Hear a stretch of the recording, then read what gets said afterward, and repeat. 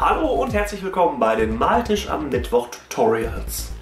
In dieser Videoserie veröffentliche ich alle im Maltisch am Mittwoch gezeigten How to Paints als separates Video, was mir die Organisation und Verwaltung, als auch euch, die Suche nach dem Content erleichtern sollte. Die im Video gezeigten How-Tos sind auf jeden Fall ganz nah an der Praxis orientiert, denn es ist genau die Art, wie ich an die Modelle herangehen würde und von Quick and Easy über Layern, über wir lassen uns ein bisschen mehr Zeit, genau die Schritte, die ich anwenden würde für meine Miniaturen, die bei mir im Spiel auftauchen. Und deshalb, wenn ihr Lust habt, eines dieser How-to-Paints mal nachzumalen und eure Figuren in sozialen Medien teilen wollt, dann tut dies doch bitte mit den Hashtags Dizzyfinger Maltisch am Mittwoch oder MAMTU, M-A-M-T-U, für Maltisch am Mittwoch Tutorials. Und wie ihr es gewohnt seid, beginnt das How to Paint nach dem Intro.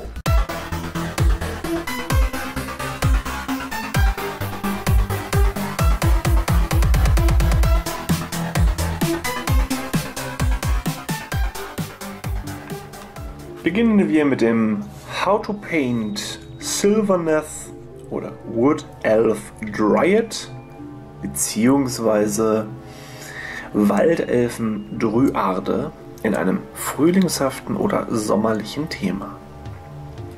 Das Modell habe ich ursprünglich hier mit ähm, Skeleton Bone von Army Painter grundiert. Das gefiel mir dann aber doch nicht so gut, deshalb bin ich einmal mit Steel Legion Drap drüber gegangen und habe das Base schon mal weil diese Farbe immer etwas länger trocknen muss, mit Sterland Matt Texture Farbe bemalt. Das ganze Modell wird äh, in einem sehr, sehr hellen Ton Richtung gelblich-knochenfarben mit ganz, ganz leichten weißen Akzenten gebürstet. Ähm, hier gehe ich mal nicht darauf ein, dass das ein Lendenschurz ist, glaube ich. Muss ich gucken, wie viel Grün am Modell hinter ist. Ähm, die Geister, diese Waldgeister werden rötlich, um einen Kontrast zu haben. Blätter und leuchtende Augen haben andere Grüntöne. Und dann gucken wir mal, wie das Ganze am Ende rauskommt. Farben, die ich benutze, sind Steel Legion Drab, Karak Stone, Ushabti Bone, Screaming Skull und Pallid Witch Flesh.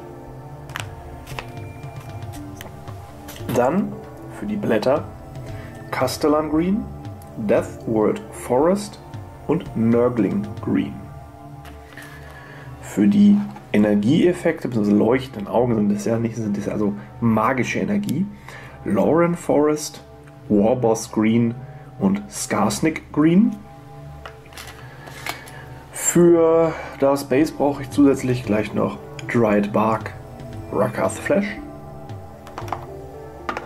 die Waldgeister Cornred, Mephiston Red und hier auf der Seite Wild Rider Red, Trollslayer Orange und Fire Dragon Bright. Dazu habe ich hier noch einmal Athonian Camo Shade und meinen Agrax Earth Shade Soft Tone.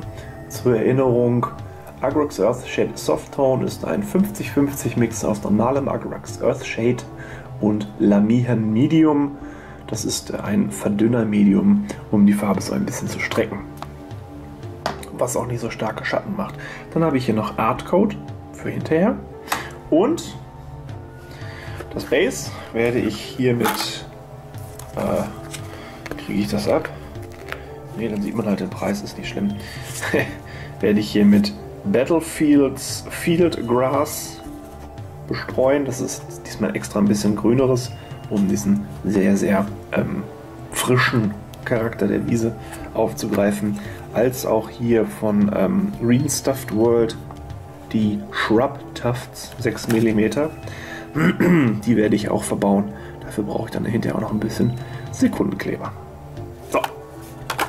Jetzt habe ich mal viel zu viel geredet, bevor wir überhaupt irgendwas hier gemacht haben. Kommen wir zum Modell.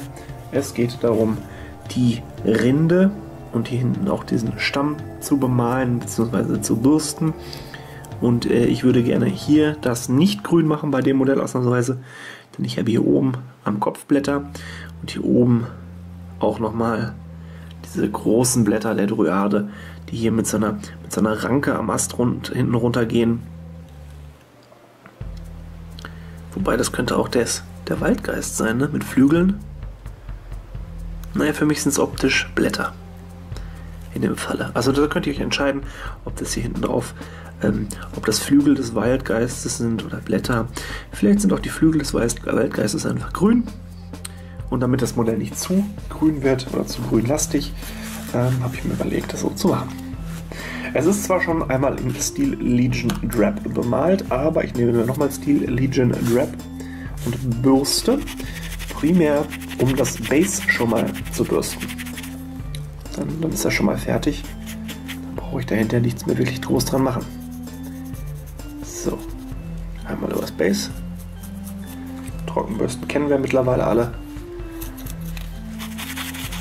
Bisschen Farbe in die Spitze des Pinsels einarbeiten und gegen die Strukturen auf dem Modell hier auf dem Base ziehen, um die höher gelegenen Stellen der Strukturen mit der Farbe zu treffen, zu benetzen, wie auch immer man das jetzt benennen möchte. So, wie gesagt, hier gehe ich nochmal übers Modell drüber, sicherheitshalber, denn es wirkt so, als würde diese helle Grundierung, die ich genommen habe, an manchen Stellen noch ein bisschen durchscheinen.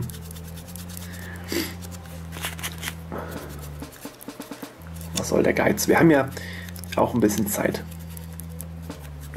Ihr könnt natürlich auch noch mal zum Vergleich euch die beiden anderen Drüarten-Tutorials ähm, gerne mal anschauen. Die findet ihr entweder in den entsprechenden Episoden des Maltischer Mittwoch oder dann bald wahrscheinlich jetzt, wenn das online ist, schon, auch als separate Videos. Könnt ihr vielleicht auch mal gucken, was euch am besten gefällt oder was ihr auch als Inspiration für ähm, ja, euer eigenes Thema oder Farbschema nutzt. Vielleicht gefällt euch jetzt zum Beispiel auch das, ähm, dun diese dunkle Rinde des, des, der Wintervariante mit dem rot-orange-gelben Blättern der ähm, Herbstvariante. Mag ja sein. Deshalb, da sind euch mal eurer kreativen Energie keine Grenzen gesetzt. Jetzt habe ich hier gerade Rakath Flash auf dem Pinsel. Das nehme ich jetzt nur noch für Space. Das ist ja die Standardart, wie ich äh, Bases gestalte. Steel Legion Wrap also ähm, Sterling Matt zunächst drauf als Texturfarbe, dann Steel Legion Drap, Rakath Flash Burst und dann zum Schluss noch ein Shade, dann ist das fertig. Bevor ich dann noch ein bisschen Streu oder Grastofts drauf mache, da braucht man gar nicht so viel rumeiern.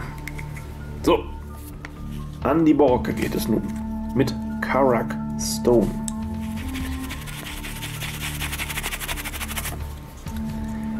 Jetzt gucke ich mal, dass ich hier im Fokus bleibe gucke nämlich heute mal ausnahmsweise rechts an der Kamera vorbei und sehe das Display nicht direkt.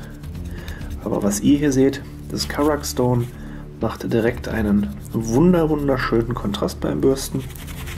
Also der ist schon richtig knallig sofort.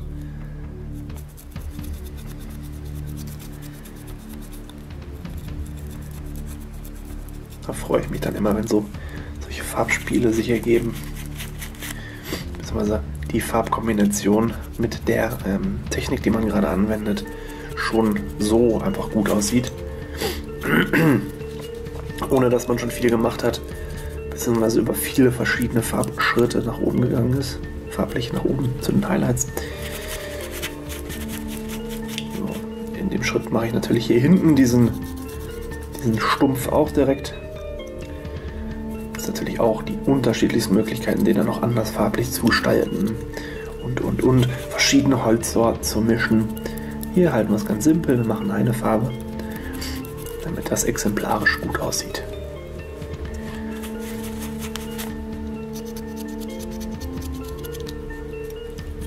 So, und für die ganz, ganz schnellen unter euch ähm, sei gesagt, jetzt könntet ihr im Prinzip schon die Blätter bemalen und seid fertig ist immer die Sache, wie viel Zeit könnt und wollt ihr in so ein Modell investieren.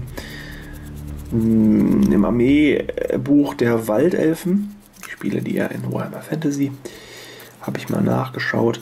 Diese Druarden sind jetzt nicht so die punktintensivsten Modelle und daher auch nicht die stärksten im Spiel. Deshalb ist die Frage, wie viel Zeit man investieren möchte und wie schnell die auch immer dann raus sind, wie groß die Einheit sein muss, die man davon hat. Alles so Faktoren, die einen dann beeinflussen, wie detailliert man die Modelle auch dann bemalt.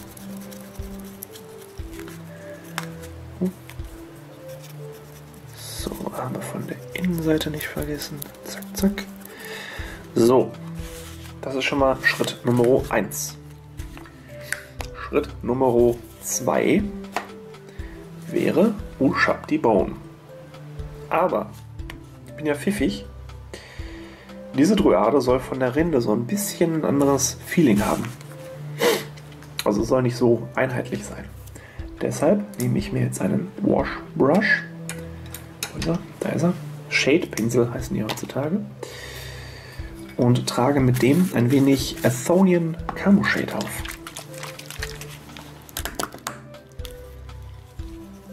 Diesen Shade trage ich jetzt schon auf, weil nämlich so nur diese Schicht hier beeinflusst wird. Und wenn ich jetzt weiter drüber bürste hinterher, sieht man hinterher nur noch einen Hauch von, diesen, von dieser Farbveränderung. So, jetzt habe ich hier das rechte Bein so ein bisschen, hier unten Stopfen am Lendenschurz, hier oben am Arm ein bisschen was einfach so random drauf, weil so ein Baum ist ja zum Beispiel auch manchmal durch Moos besetzt oder durch äh, irgendwelche Kletterpflanzen beeinflusst. Man hat einen, einen oberflächlichen Defekt an der Borke oder sowas. Und dann verfärbt sich so ein Baum auch mal unterschiedlich. Und das versuche ich damit hier jetzt mal aufzugreifen bzw. zu erzeugen. So. So sieht das Modell dann jetzt aus. Das lasse ich ganz kurz trocknen und dann machen wir weiter mit dem Bürsten. Wie ihr jetzt erkennen könnt, ist der Farbunterschied durch den Shade gar nicht so schlimm, so auffällig, so krass geworden. Und ich denke, damit können wir gut weiterarbeiten. Das wäre zum Beispiel auch eine Möglichkeit, um grundsätzlich diesen Lendenschurz, dieses Rindenborkenwerk, was als Lendenschurz gut durchgeht, ähm, auch einfach farblich zu gestalten und nicht zu sehr abzuheben in diesem Comic-Stil, den ich auch öfter mal bevorzuge. Aber nichtsdestotrotz nehme ich mir jetzt wieder Karak Stone, also die Farbe, die ich gerade hatte, und gehe nochmal hier drüber, um wieder das Highlight ein bisschen herauszuarbeiten an den Stellen, an denen ich mit dem Shade gearbeitet habe, so dass wirklich nur die tiefen Stellen farblich ein wenig Veränderung sind, äh, verändert sind, Veränderung erhalten haben, wollte ich eigentlich gesagt haben. nach Karak Stone nehme ich mir zur Hand Ushabti Bone. Ushabti Bone ist ein etwas gelblicher Farbton, Knochenfarbton. Der passt hier auch ganz gut als Highlight. Wichtig ist natürlich bei den Schritten, je höher ihr mit der Farbe kommt, desto weniger sollte erstmal auf den Pinsel sein zum Bürsten, um auch die Kontrolle dazu rüber zu haben, wie stark diese Highlights in der Farbe ausgeprägt sind. Wenn ihr direkt mit einem richtig zugematschten Pinsel, also übertrieben gesprochen, zugematschten Pinsel ans Modell geht, dann sind die Details auch hin. Dann braucht ihr auch eigentlich gar nicht Trockenbürsten. Deshalb lieber erstmal ein bisschen weniger, ein bisschen weniger Farbe anfangen und äh, ein, zwei Schichten bzw. Pinselstriche mehr beim Bürsten investieren, damit es besser aussieht hinterher.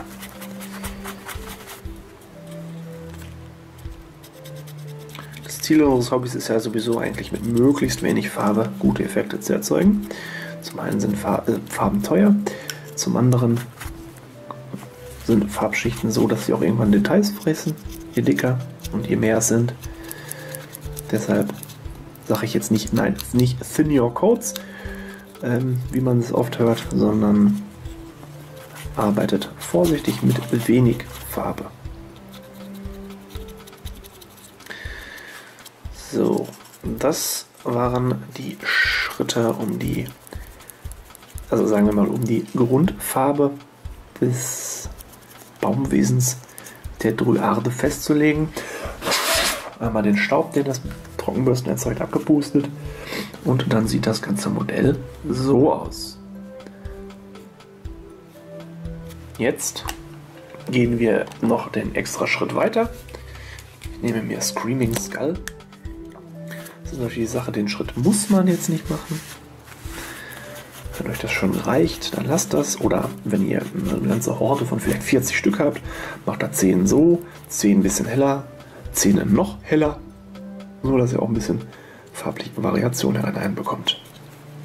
Jetzt achte ich darauf, dass die Highlights, die ich aufbürste, mehr von oben diesen Fokus haben.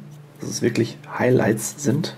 Also Stellen, an denen das Licht die Farbe, die Kante der Farben etwas aufhält. Das heißt, ich gehe zum Beispiel nicht mehr hier unten unter dem Arm lang. Hier am Podex bin, äh, arbeite ich jetzt auch nicht mehr so aktiv mit der Farbe, da dort ja von oben dieser Schatten des Asts runterkommen könnte. Und ich glaube, das sind tatsächlich Flügel von diesem Waldgeist. Das irritiert mich natürlich jetzt, weil ich was anderes vorhatte. Na gut, so ist das. Erstens kommt es anders und zweitens, als man denkt. So, jetzt habe ich noch Screaming Skull und Palette Witch Flash bestehen. Jetzt male ich nämlich die anderen Farben des Modells einmal an, um dann danach mit Shade zu arbeiten. Ich beginne bei den Blättern mit Castellan Green. Um schon mal zu wissen, wie die Farben am Modell so verteilt sind. Da haben wir hier am Kopf in diesen Ästen, die meines Erachtens wunderbar irgendwelchen Dreadlocks äh, nachempfunden sind, ganz viele Blätter, die alle wunderbar blau, ach blau, ist klar, grün bemalt werden können. Ihr müsst mir das nachsehen. Ich komme gerade von einer langen Frühschicht. In dem Moment, in dem ich das Video hier gerade aufnehme. Da kommt es schon manchmal zu kognitiven Aussetzern. So, auch ein bisschen so von der Seite und von unten. Weil es soll ja Menschen geben, die sich beim Anschauen eines Modells und beim Begutachten der Arbeit, die daran geleistet wurde, das Modell auch mal in die Hand nehmen und drehen. Dann wäre ja doof, wenn ihr euch von, von der einen Seite, also quasi von oben, sehr viel Mühe gegeben habt bei den einzelnen Details. Und man dann von unten merkt, ach guck mal, der hat gewuscht. Der hat da gar nicht bemalt. So, das sind die Blätter. Am unteren Teil des Modells gibt es gar keine mehr, so wie es ausschaut. Das da könnte ein Blatt sein, ist aber nicht eindeutig. Ne, mehr Blätter gibt es an dem Modell hier unten gar nicht. Dann gehe ich einfach davon aus, dass das hier eine Ranke ist. Und nicht irgendwie ähm, so ein Schwanz oder sowas von, dem, von diesem Waldgeist. Waldgeist klingt nach Alkohol. Ähm, sondern tatsächlich äh, eine, eine, eine Ranke, die hier hochgeht. Und ich glaube, das hier oben sind, auch wenn es nicht ganz korrekt ist vom, vom Modell her, das hier oben sind dann grüne Flächen, die so ein bisschen Blätter nachempfinden.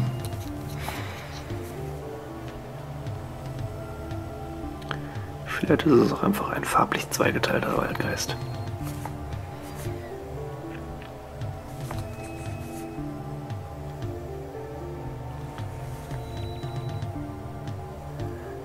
Aber das ist eigentlich eine gute Idee, oder? Wenn der eine hier hinten rot ist, der andere hier oben grün. Es gibt nochmal so dieses bunte, farbenfrohe, frühlingshafte. Doch, das ist, glaube ich, eine gute Idee. Okay, Planänderung während des Tutorials, auch eine gute Sache, aber passiert schon mal. Ich nehme mir jetzt Lauren Forest das ist eigentlich die Farbe für dieses Leuchten in den Augen, dieses leichte. Und ähm, im Mund. Das heißt, da werde ich schon mal die Farbe reinsetzen, dass ich schon mal grob weiß, wo die hinterhin muss. Und habe ich mich ja quasi gerade dazu entschieden, dass das hier hinten tatsächlich ein kompletter Waldgeist ist. Samt eines Schweifs, der hier um den Ast gewickelt ist. Und werde dem dann natürlich die Farbgrundschicht auch nochmal verändern. Von Castellan Green, was ich jetzt genommen habe, zu Lauren Forest. Vielleicht fügt sich das hier oben dann auch ganz schön ein. Wenn auch da zwei Grüntöne zu sehen sind.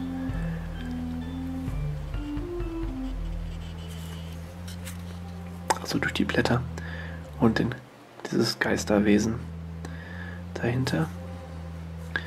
Sowieso fraglich, was das für Viecher sind. Ich persönlich versuche bei meinen Dryaden ähm, eher weniger dieser ähm, geisterhaften Wesen darauf zu bauen. Guck mal, da ist übrigens auch noch ein, ein Blatt, so wie es ausschaut. Könnte aber auch das Bein sein, muss ich mal von hinten anschauen. Ne, ist ein Blatt.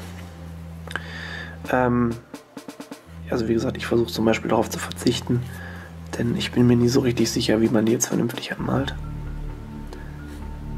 Dann noch lieber die Käferwesen aus der Box der Kurnoth Hunters und äh, aus der Box der Dryaden diese ganzen Knochen oder die Schneeeule. Das war ein sehr schönes Detail, was man natürlich in einer Armee nicht zu oft aufnehmen sollte, aber es ist ähm, sehr schön anzusehen. Kann natürlich auch ein Kauz sein. Oder sieht das Knie von dem sogar nur aus wie ein Blatt? Ich glaube, das ist es sogar. Das ist aber echt ein skurriles Teil. Na gut. Das hat mal irgendwer so designt. Dann wird das schon so okay sein. Nachdem ich mich jetzt dafür entschieden habe, dass das da oben alles Waldgeist ist, bekommt der dahinter nochmal diesen roten Farbton aufgedrückt und zwar Corn Red. Da ist jetzt zu schauen, was ist hier von Waldgeist und was ist Baumstumpf. Das sind zwei Krallen, wenn ihr mich fragt, die hier so runtergehen in den Baum rein. Das hier ist irgendwas davon. Dann ist natürlich auch so eine Sache hier mit der Designentscheidung. Gott, dieser, dieser Wesen die man nicht unbedingt genau zuordnen kann.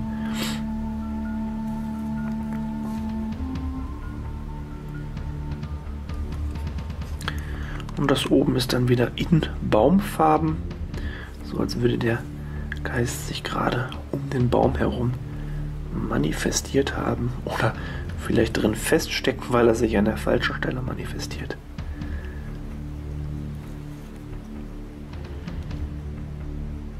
ganz einfaches Ausblocken der Farben.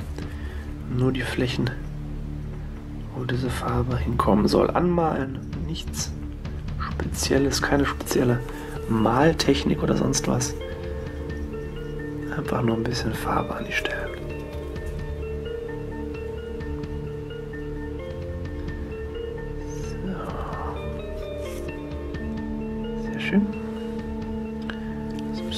Gewesen sein. Gut, dann haben wir jetzt das schon mal soweit fertig. Und jetzt bekommt das ganze Modell, ach, bleibt drauf stehen, eine Schicht mit dem Acrylax Earth Shade Soft Tone ab. Das heißt, ich werde komplett einmal mit diesem Shade übers Modell gehen. Aufgeploppt beginne beim Kopf der Dryade. Lege extra mal hin dieses Mal, äh, Trockenbürst, Farbabstreich, was auch immer, Tuch darunter. Weil das beim ähm, Shaden ab und zu die Farbe ein bisschen wegspritzt. Dann gibt es ja diese ganzen kleinen Tupfer auf der Malunterlage. Das möchte ich jetzt nicht nochmal zusätzlich, weil es sowieso schon so siffig ist. Also auch beim Malen legt euch äh, gut was unter. Auch wenn ihr eher der Typ seid, der niemals Farben umschmeißt. Ähm, es landet immer was auf der Arbeitsoberfläche durch irgendwelche Maltechniken oder oder oder.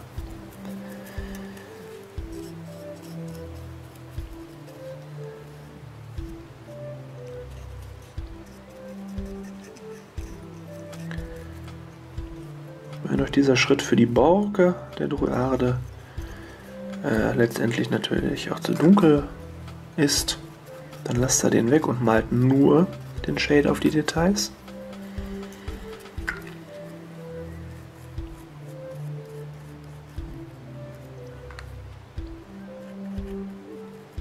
Das geht natürlich auch.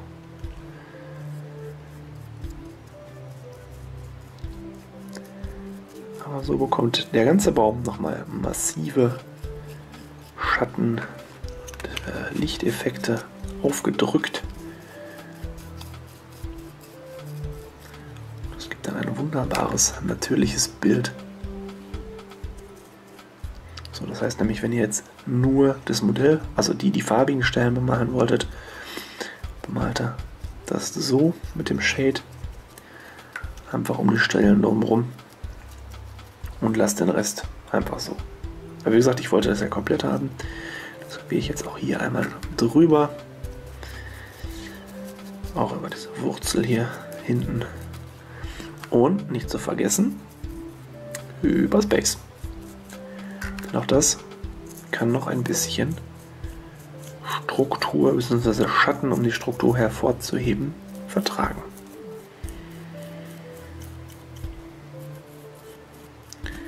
So, die Drüarde ist jetzt mit den Grundfarben bearbeitet und komplett geschadet.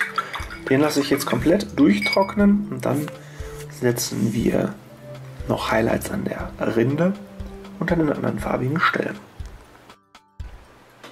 Nachdem der Shade nun wieder getrocknet ist, kann ich damit beginnen, die Borke zu beenden, bzw. zu vollenden.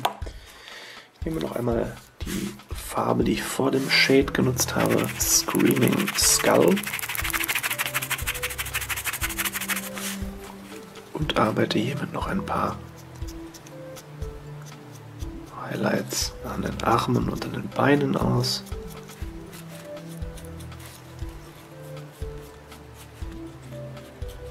Sowie auch natürlich hier diesem Lendenschurz, der sonst ein wenig verloren daherkommt.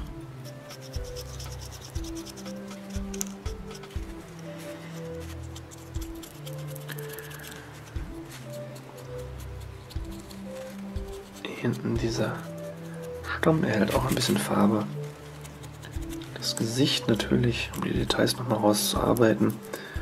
Hinten über die Haare. Und jetzt seht ihr, warum es wichtig ist, die Borg jetzt schon mal fertig zu machen. Ich komme mit dem Bürstschritt hier unweigerlich auch noch an die andersfarbig gestalteten Elemente des Modells. Und äh, da ist einfacher, diese jetzt gleich zu übermalen, anstatt irgendwie äh, nochmal ordentlicher zu bürsten, nur um die nicht zu treffen.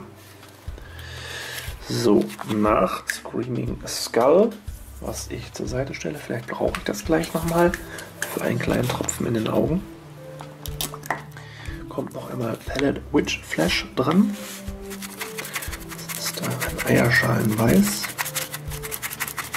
Da ich das jetzt in den Pinsel einarbeite, den ich noch nicht ausgewaschen habe vom Screaming Skull, äh, ist es nicht hundertprozentig die Farbe, sondern so ein Mischton. Und damit gehe ich wirklich nochmal hier über die Krallen, über die Arme, hier vorne über das zentrale Stück des Kopfs, hier vorne übers Knie, ein bisschen über Brust- und Lendenschurz. Die Wurzel hinten lasse ich im Prinzip nahezu aus. Hier oben noch ein bisschen ins Geäst. Und damit ist die Borke fertig. Also wir haben eine beige Knochenfarben. Ne? Sehr helle, teilweise weißliche Borke. So ein bisschen ähm, bisschen den Effekt von, was ist das, Birke? Ist Birke? Ich gucke mal ganz kurz nach.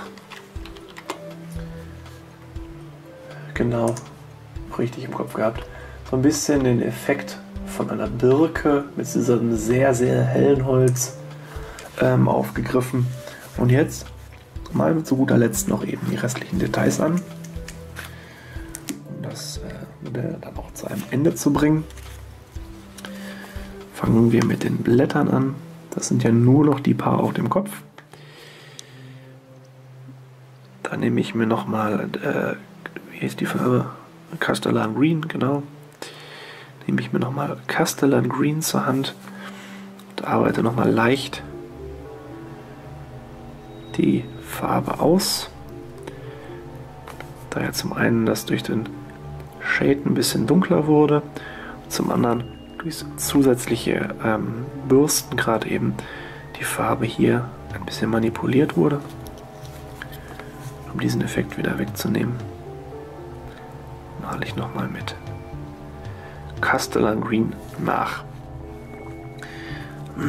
Auch hier ist natürlich die Sache, wie hell und bunt wollt ihr das? Reicht euch das Castellan Green schon? Wollt ihr doch noch einen Schritt weiter gehen? Oder, oder, oder? Da könnt ihr auch variieren, wie ihr wollt. Ich werde jetzt der Vollständigkeit halber nach dem Castellan Green mit Death World Forest arbeiten.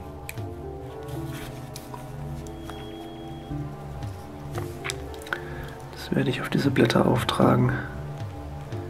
Mehr zum Rand hin dass in der Mitte diese Vertiefung übrig bleibt in Castellan Green bzw. in dem geschälten Castellan Green Farbton.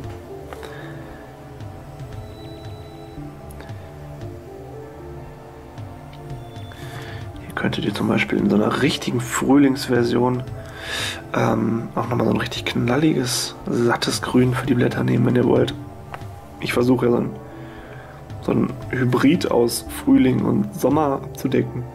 Deshalb dachte ich, passt dieser Farbton besser. So, ich glaube, das waren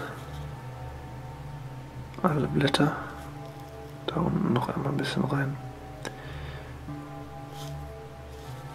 Jawohl. Und last but not least nehme ich mir Nurgling Green für ein letztes Highlight.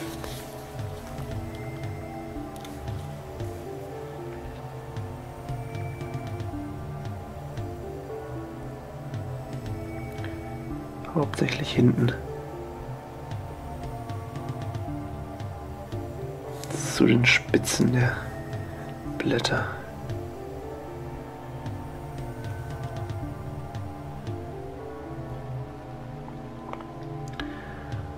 Und äh, da dieses Blätter aus Atelloren sind, einem ungewöhnlichen gewöhnlichen magischen Wald, könnte man da ja auch die unterschiedlichsten Farben oder Farbstrukturen auch nochmal auf die Blätter aufbringen, um dieses, diesen mystischen Charakter des Waldes nochmal aufzugreifen. Uns reicht das in diesem Grün es hebt sich nicht zu sehr von der, von der Rinde ab, aber genug, dass man sieht, dass da noch was ist. Da wir gerade bei Grün sind, nehme ich mir jetzt Loren Forest und arbeite hier die Augen und das äh, Leuchten im Mund nach. Die Schnitzereien in der Rinde, die auch bei diesem Modell vorhanden sind, zwar hier oben werde ich in dem Fall nicht ausarbeiten, da hier oben dieses magische Wesen drauf sitzt, das ja in derselben Farbe gehalten ist. Dann würde das doch einfach nur noch wie eine grüne Masse aussehen auf die Entfernung. Und deshalb lasse ich das aus Designgründen quasi aus. So, dieser Waldgeist wird auch einmal nochmal mit dem vorher benutzten Loren Forest bemalt.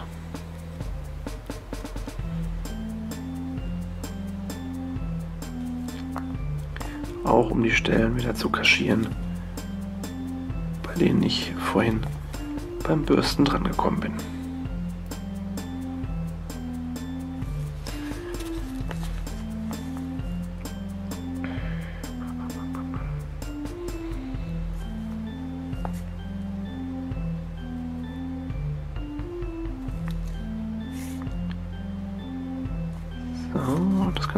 Hinten.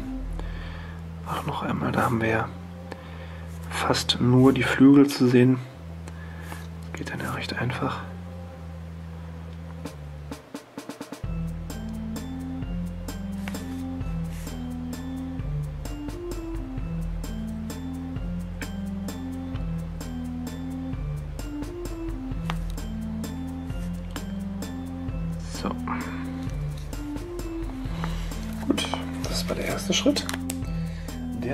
Zweite ist nun Warbos Green.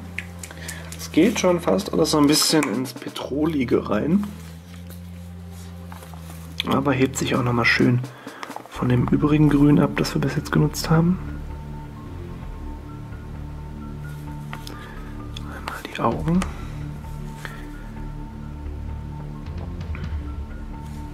Und wie es vielleicht auch aus den anderen ähm, How-Tos schon gewohnt seid, Zentrum des Mundes. Hier haben wir eine Zunge, deshalb auf der, der Zunge und dahinter. Und dann haben wir noch wieder dieses Geisterwesen, das jetzt durch diese Farbe nochmal einen, einen ganz anderen Stil bekommt. Da es sich noch mehr von den Blättern abhebt.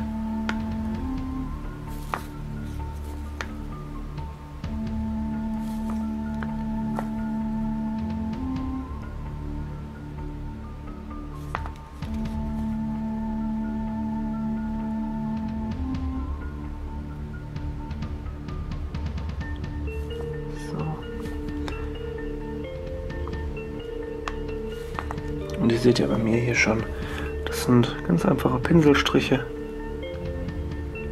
Das geht relativ fix.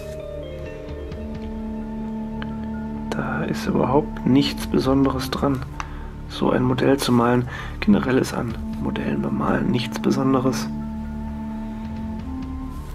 Und äh, in unseren Zeiten, in denen wir diese ganzen YouTube-Videos und sozialen Medien nutzen können, ist es ja auch nicht schwierig, sich äh, derartige Videos wie dieses How to Paint rauszusuchen, um mal zu gucken, wie könnte ich denn so ein Modell bemalen. Ich erinnere mich an meine Anfangszeit im Hobby. Damals, als es noch die äh, Imperial Fist Supremacy Force gab für Warhammer 40.000, ich weiß gar nicht, welche Edition das war. Ähm, da hat man die Bilder gesehen. Das hatte man in White Dwarf. Aber dann war es das auch. Da gab es keine zusätzlichen How-to-Paints oder sonst irgendwas. Da hat man, wenn man Glück hat, vom Bruder des besten Freundes, der zufällig dieses Hobby auch gemacht hat, mal einen Tipp gekriegt, den er in seiner schon etwas längeren Laufbahn des Malens ähm, sich angeeignet hat, die Technik. Aber sonst musste man sich alles so ein bisschen selbst beibringen. Und durch das Internet, die sozialen Medien, die Vernetzung hat man heutzutage so gute Möglichkeiten, an, auch an hochqualitative ähm, Erklärvideos ranzukommen. Da kann mir hinter keiner erzählen, nee, ich weiß nicht, wie ich sowas bemalen soll. Da gibt es genug Videos. So. Nach diesem leicht nostalgischen Trip und dem Schritt mit Boss Green bleibt uns dafür nur noch Scar Snick Green. Das ist eine wunderbare Farbe auch, um Goblins, comichafte Goblins zu bemalen, die Haut. Mit diesem Scar Snick Green gehe ich jetzt nochmal in die Pupillen. Und hier in die Mitte über der Zunge. Um dieses magische Leuchten nochmal auszuarbeiten. Und male auch hier an diesem Waldgeist nochmal ein wenig mehr helle Farbe auf. Wenn ihr jetzt hier einen sehr glatten, sehr feinen Übergang der Farben haben wollt, einen feinen Farbverlauf, könnt ihr euch auch noch eine Farbe zurechtmischen, die zwischen Warboss Green und Scar Snick Green ist.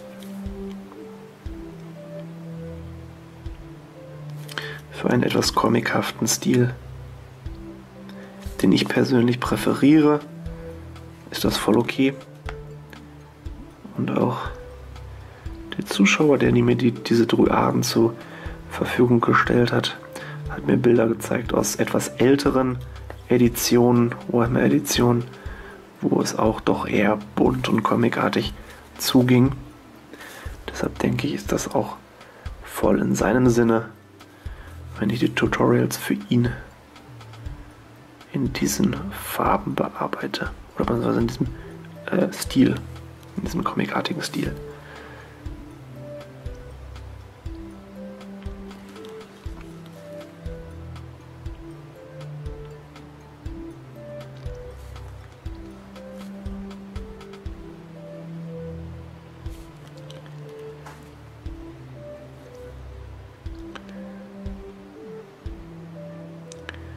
Bei diesen Geistern hier find, äh, immer schwierig finde, sind die doch eher weniger ausgearbeiteten Details am Modell.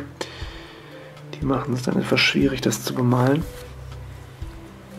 Aber es sind ja vielleicht auch etwas diffus geformte Geister, die nicht unbedingt eine klare Körperform haben oder bei der sich keine klare Körperform erkennen lässt, weil die vielleicht auch ihre Körperform nach Belieben ein bisschen ändern können wodurch das nochmal schwerer wird zu erkennen, wie die jetzt wirklich aussehen. Daher ist es, glaube ich, okay, wenn wir die auch eben mit diesem Hintergrund so bemalen, dass man nicht richtig das Gesicht erkennt oder ähnliches. Man muss sich das Ganze nur schön reden.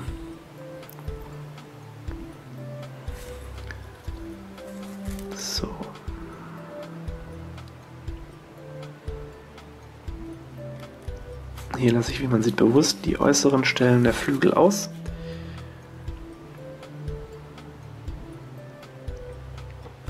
Um so etwas wie eine Art Farbverlauf zu erzeugen.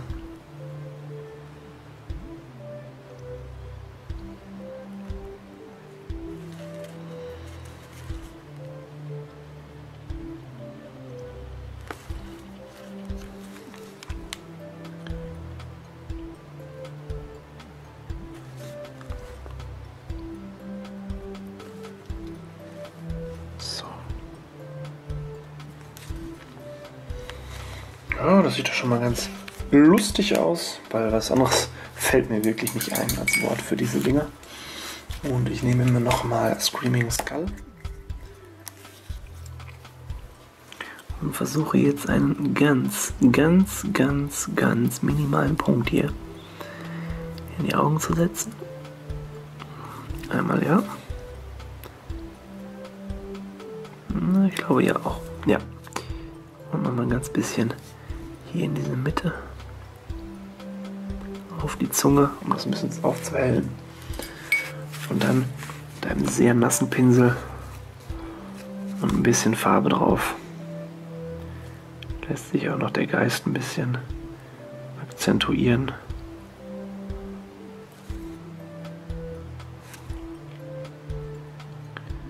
An einigen markanten Stellen kann man dann nochmal mit der Farbe langziehen. Wie gesagt, wichtig ist, der Pinsel nass ist und dir somit nur sehr, sehr leichte oder sehr leicht die Farbe auftragt und nicht zu dick.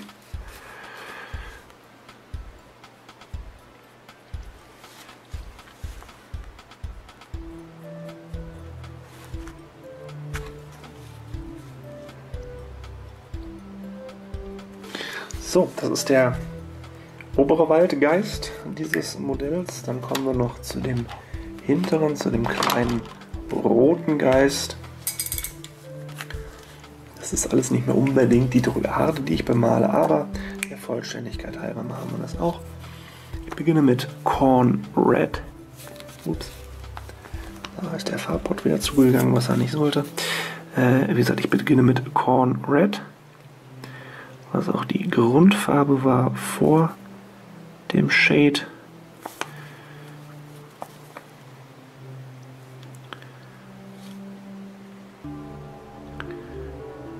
Dann gucke ich schon jetzt, dass ich nicht so in diese Vertiefung reinkomme. Und ich ziehe eigentlich den mit ein wenig Farbe beladenen Pinsel auch wie beim Trockenbürsten hier so gegen die Strukturen übers Modell.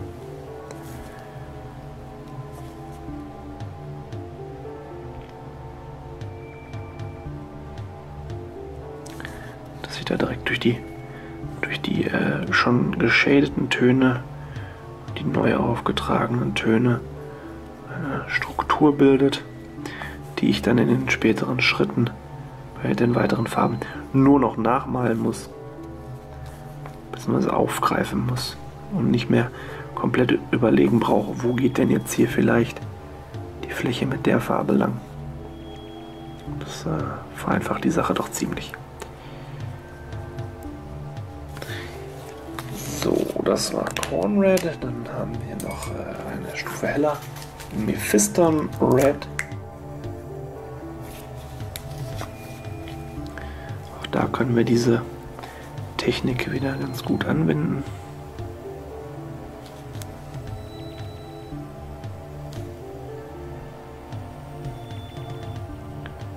Den wir einfach nur so ein bisschen über die Strukturen drüber ziehen.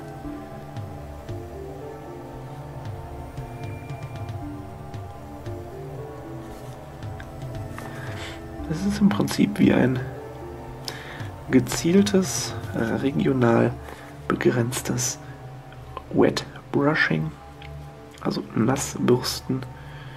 Im Gegensatz zu dem Trockenbürsten, wo man wenig, wenig Farbe an dem Pinsel hat, hat man beim Wet Brushing viel Farbe und nasse Farbe auch am Pinsel.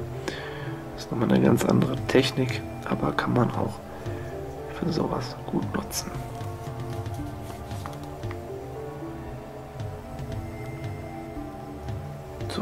Im Fokus, also einigermaßen.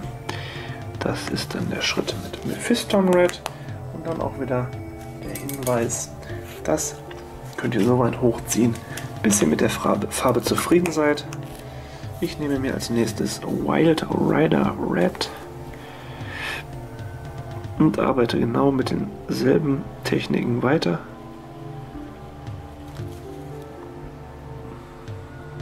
Gehe jetzt mit der Farbe auch so ein bisschen oben an den Stamm wirklich so langsam auch aussieht, dass dieser Geist sich aus dem Baum rausschält. Also ich greife diese Struktur hier auf ziehe die so ein bisschen hoch farblich.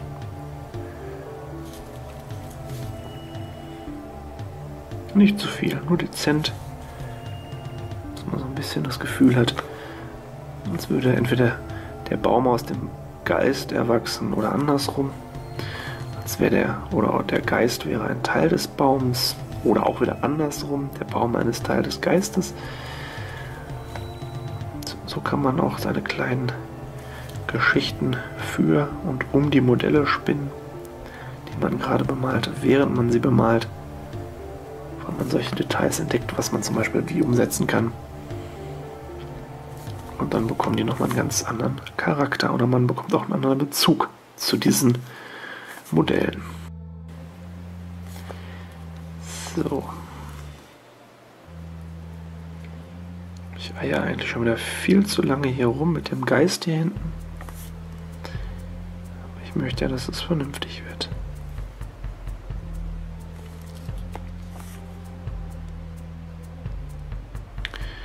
So, warum habe ich Rot und Grün gewählt gerade? Weil es ein Komplementärkontrast ist und zusammen ganz gut aussieht.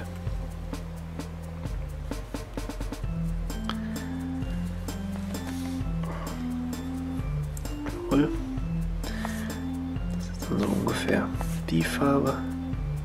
Muss da noch ein bisschen intensiver werden. So. Und was soll der Geiz? Wir nehmen auch nochmal Troll Slayer Orange zur Hand. Und geben, gehen von Rot in ein ganz anderes Farbspektrum rein.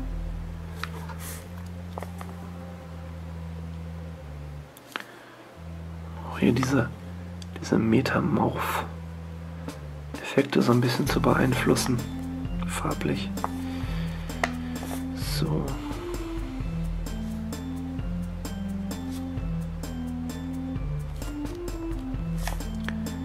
Seht ihr selber, gehen wir so langsam in so ein Rot-Orange rein.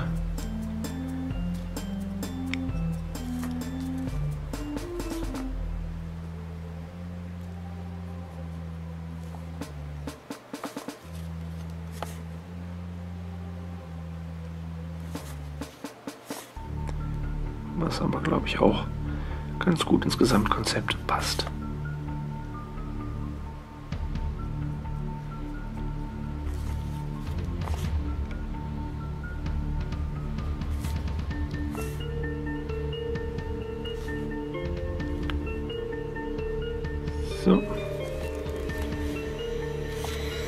Und jetzt, weil ich diese Farbe noch hier habe, nehme ich mir Fire Dragon Bright.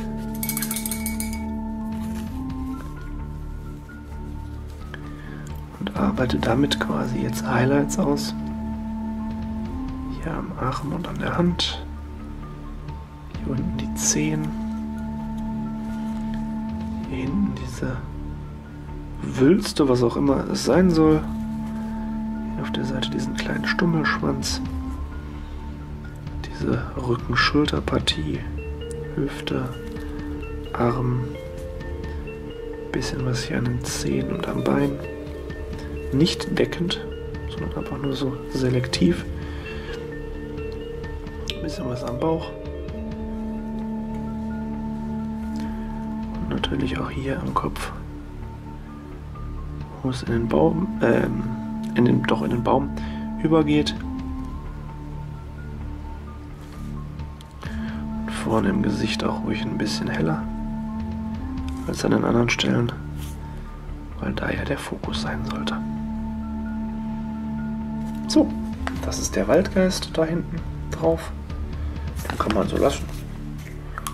Könnt ihr auch zum Beispiel, wenn ihr was ganz Buntes haben wollt, noch ähm, blaue oder bläuliche oder violettfarbene Geister dazu.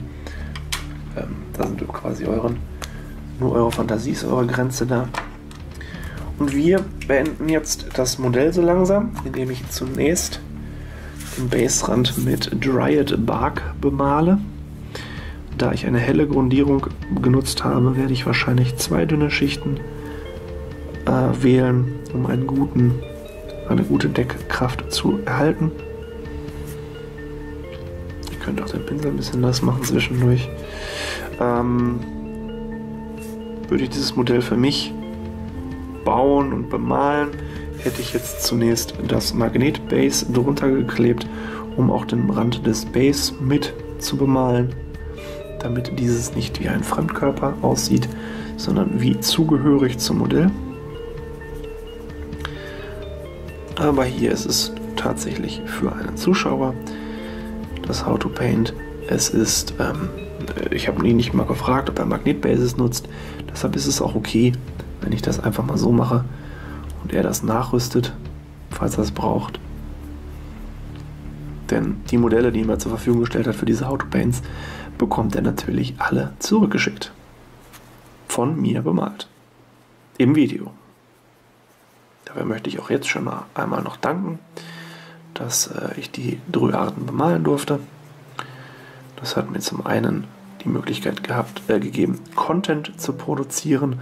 Zum anderen hat es mir gezeigt, wie cool Dryaden zu bemalen sind und mich direkt überzeugt, eine kleine Waldelfentruppe aufzubauen. Und äh, ja, äh, so kann man auch mal über den Tellerrand hinausschauen. Einfach mal, um andere Modelle zu bemalen, ohne direkt irgendeine Box kaufen zu müssen. So, das war der Schritt. Jetzt werde ich noch, wenn äh, der Rand getrocknet ist, abseits der Kamera hier das Field Grass und die Shrub Tufts ein bisschen aufkleben, das Ganze lackieren und euch dann nochmal das fertige Modell zeigen. Und hier haben wir dann jetzt das fertige Modell, die fertige Dryarde. Ich gebe zu, die Kombination aus diesem sehr hellen Gras und den, den Shrub Tufts ist gewöhnungsbedürftig. Vielleicht wäre es auch eine Möglichkeit, die Tufts äh, heller zu bekommen, grüner oder vielleicht auch einmal das Grasstreu etwas ähm, dunkler zu wählen. Ich finde, es greift aber hier in dem Falle ganz gut auf das Gras und dieses Geisterwesen und die Augen und das Shrub-Zeug und die Blätter. Also es gibt so, so eine Parallele zum Modell, ähm, die nicht von der Hand zu weisen ist. Und äh, ihr könnt natürlich auch gerne dieses Modell so nachmalen. Jawohl, müssen wir natürlich auch nochmal sagen. Wenn ihr das tut, könnt ihr auch äh, euer Ergebnis posten äh, in den sozialen Medien mit dem Hashtag Maltischer Mittwoch, Hashtag Dizzyfinger oder Hashtag Mum2 Maltisch am Mittwoch Tutorials. Und ihr, die ihr das Modell jetzt hier in der ähm, Maltischer Mittwoch Episode gesehen habt. Ihr habt das ja auch als Thumbnail fürs Video schon gesehen. Ähm, ich würde sagen, ihr geht jetzt einfach mal weiter zum nächsten Beitrag. Noch keine Ahnung, was das ist. Aber es wird auf jeden Fall etwas kommen. Und denkt dran, der rote Geist ist immer der Böse.